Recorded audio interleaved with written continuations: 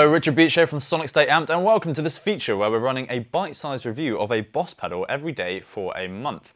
So today we have the Super Octave OC3, a really fun pedal actually, uh, one of the ones I've been looking forward to.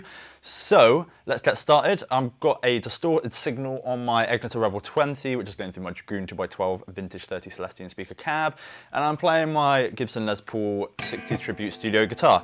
Here's what my distortion sound sounds like.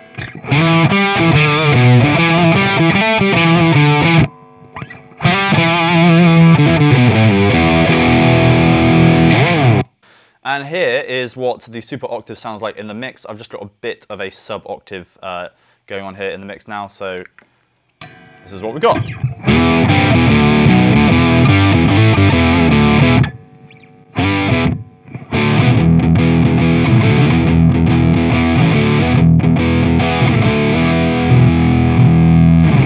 So it sounds evil as hell, uh, which is awesome.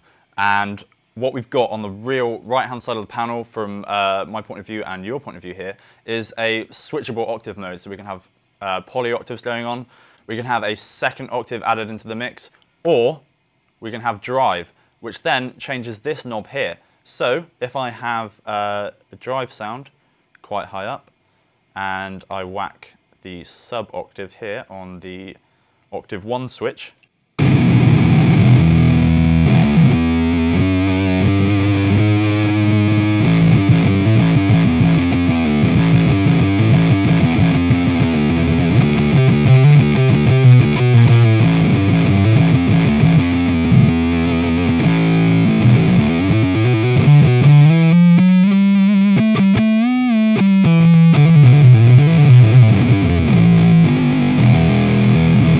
Even more evil with the drive in there. So obviously we've covered the sort of the crazier sounds. Let's do a clean sound. So I'm going to take the drive down on my amp. Swing over something much nicer now.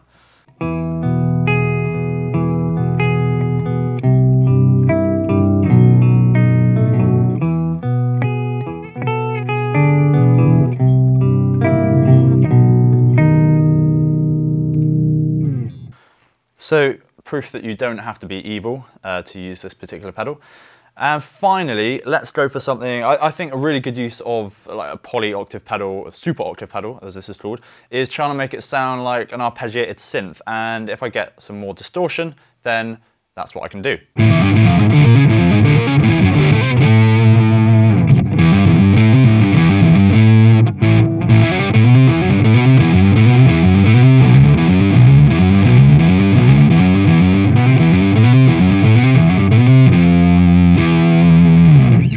Right, so the exact same settings on the pedal with some distortion added on the amp and on my rhythm pickup on the Les Paul.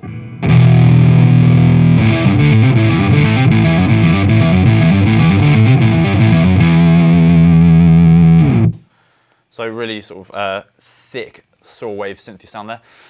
I really like this pedal. I don't really have anything bad to say about it because it, it's not trying to model anything else. It's not, not trying to do anything that it it can't do. So yeah, really great pedal. If you just want something that will make you feel creative, if you're in some sort of like garage rock band, you're just a drummer and a guitarist, great pedal to have in your armory.